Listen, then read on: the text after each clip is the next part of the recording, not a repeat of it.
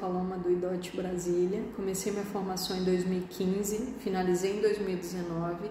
Agora eu só estou finalizando é, a parte prática, né? então o estágio prático lá na clínica escola, que é um diferencial muito grande do IDOT e o que muda muito a nossa nosso jeito de atender em consultório, ficando muito mais confiante em atender, em abordar todos os sistemas.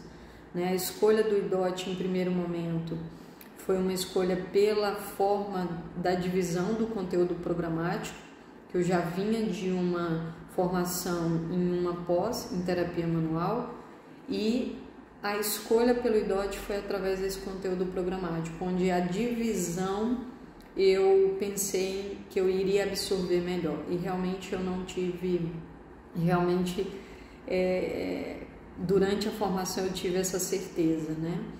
É, que foi muito importante essa divisão de como é feito, de como é dado, né? Através dos professores que que sinto que querem passar sempre o melhor para a gente.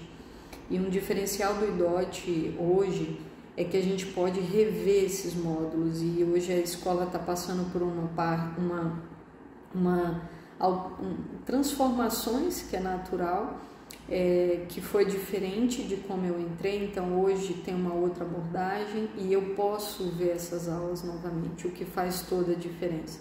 Então, no momento que a gente já começa a atender e depois eu vou rever esses módulos, então o conteúdo é, eu absorvo com mais facilidade. Então, isso é um grande diferencial, a gente poder também rever várias vezes esses módulos. Quanto mais a gente é, rever aquele assunto, mais eu vou olhando de uma outra forma, eu vou conseguindo fazer com mais aptidão no consultório, que ajuda muito.